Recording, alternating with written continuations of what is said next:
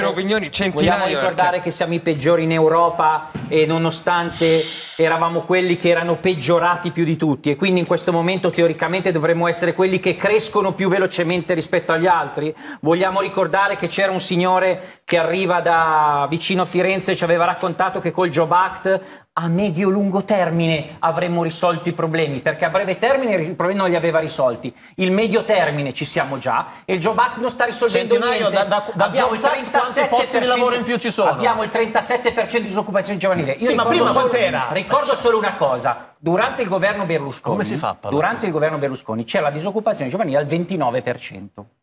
Eh? Vabbè, Un- poi c'è stata la più grande crisi economica I fenomeni del Partito Democratico dalla guerra, eh? avevano messo fuori un, un manifesto con scritto disoccupazione giovanile al 29%. Berlusconi dimettiti. Qui cosa dobbiamo dire al Presidente del Consiglio? Emigra! Non dimettiti, emigra! Perché non sei in grado di dare risposte, di dare risposte a chi sta cercando un posto di lavoro in questo momento. Se-